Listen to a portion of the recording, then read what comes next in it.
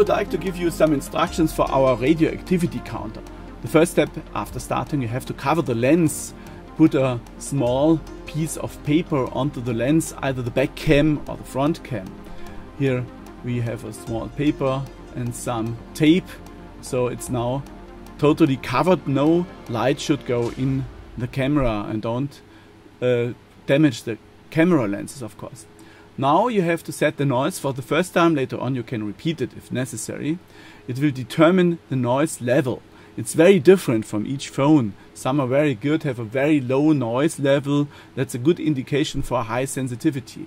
After one minute, you'll get the result.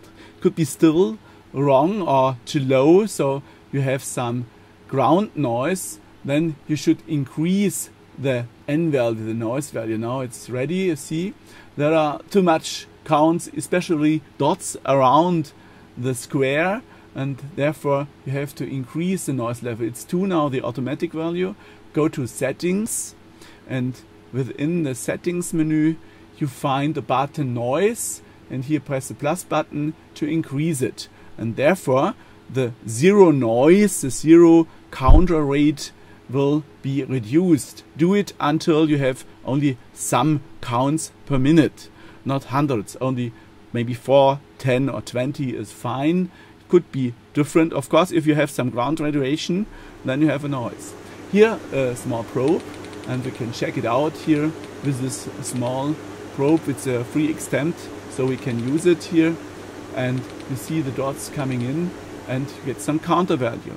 The next step would be great, of course, to get a calibrated, more or less calibrated value here in microgray per hour uh, instead of microsievert because we believe the microsievert is not very honest for this phone type because it's a value for the human body, but it's around one to one. So for estimation, it's good. You have to go to the adjust menu and to find the values here, you have to look at our homepage. There are tables for different phones we have tested. Of course, we cannot guarantee that your phone, even if it's the same brand, has the same values. That's too early in this stage. We need some feedback also from your side. That's what we found here, and it's very good. It's almost linear. This gives us a lot of hope that it's not a big problem for one phone in one brand.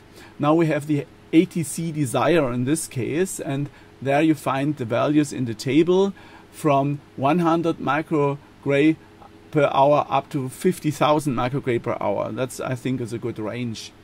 And below it's getting nonlinear at the moment, or you need a lot of measurement time.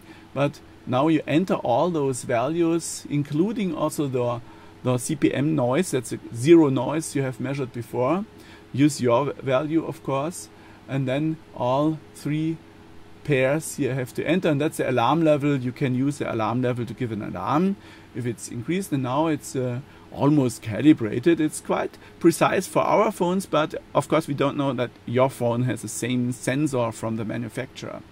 Now we can start measuring. But first, uh, you go to setting again. The noise level has to be increased again by one because our table shows four.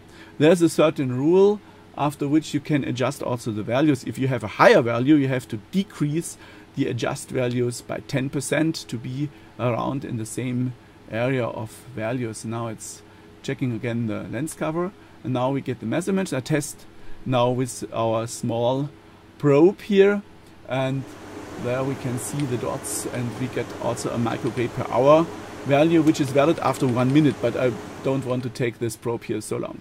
Now we go to the Buchler Anlage where we have uh, more possibilities for higher resolutions and more defined resolutions. We use that device to get our tables and statistics and now here you can see how the values are increasing uh, some alarm sound, uh, some phones. They are all different settings, not uh, calibrated to any value, some random values. We just tested it here with different devices. That's the Buchler device. Below there are all the radiation sources, cesium 137 or also cobalt 60, which I had before as a small probe.